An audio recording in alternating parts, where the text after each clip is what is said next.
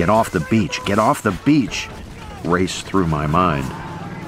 Once I felt land under my feet, I wasn't as scared as I had been coming across the reef. My legs dug up the sand as I tried to rise. A firm hand gripped my shoulder. Oh, God, I thought, it's a nip who's come out of a pillbox. I couldn't reach my Ka-Bar.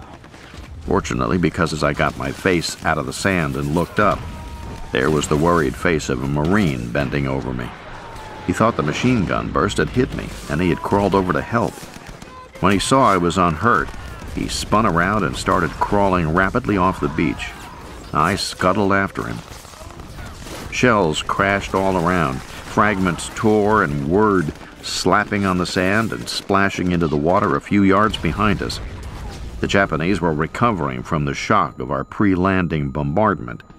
Their machine gun and rifle fire got thicker, snapping viciously overhead in increasing volume. Our amtrac spun around and headed back out as I reached the edge of the beach and flattened on the deck. The world was a nightmare of flashes, violent explosions, and snapping bullets. Most of what I saw blurred. My mind was benumbed by the shock of it. I got up. Crouching low, I raced up the sloping beach into a defilade.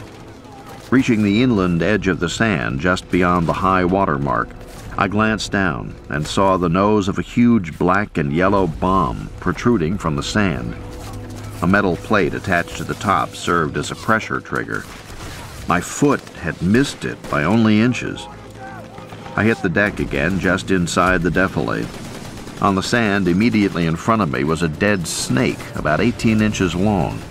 It was colorful, somewhat like American species I had kept as pets when I was a boy. It was the only snake I saw on Peleliu.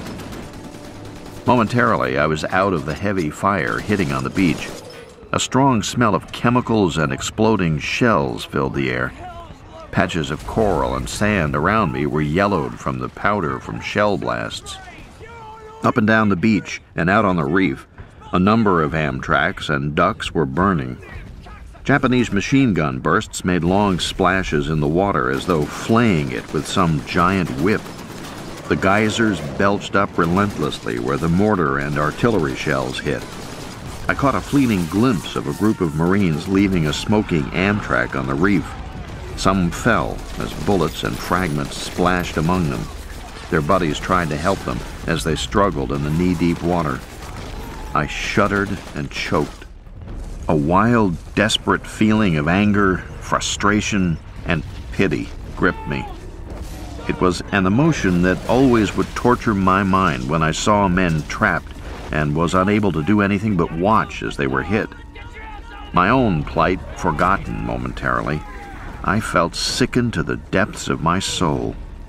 I asked God, Why, why, why? I turned my face away and wished that I were imagining it all. I had tasted the bitterest essence of war, the sight of helpless comrades being slaughtered, and it filled me with disgust. A large white post about four feet high stood at the edge of the defilade. Japanese writing was painted on the side facing the beach. To me, it appeared as though a chicken with muddy feet had walked up and down the post. I felt a sense of pride that this was enemy territory and that we were capturing it for our country to help win the war.